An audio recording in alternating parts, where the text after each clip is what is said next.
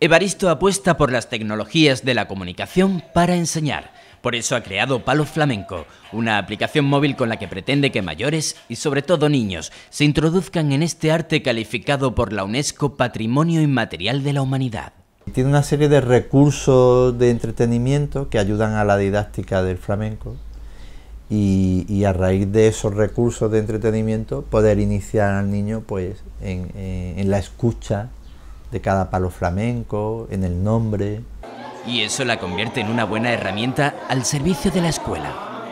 Colegio Infanta Leonor en Tomares, Sevilla. El primer centro educativo que la usa para enseñar la historia del flamenco, sus palos, artistas. Es algo nuestro, es un sentimiento que no se puede expresar con palabras, son nuestras raíces.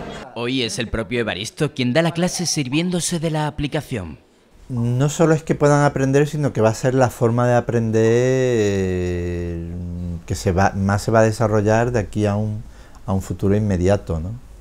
porque el, niño tiene una demanda constante de esta tecnología. ¿Qué compás tiene la bulería? ¿Quién fue la niña de los peines? Esta app les lleva la información, les permite conocer el flamenco con el cante de Rosa Ángeles y la guitarra de José Donoso, colaboradores de Baristo en este proyecto. A mí lo que más me gusta sería tocar la caja algún día. Y quién sabe, quizá entre estos pequeños haya alguna futura figura del flamenco.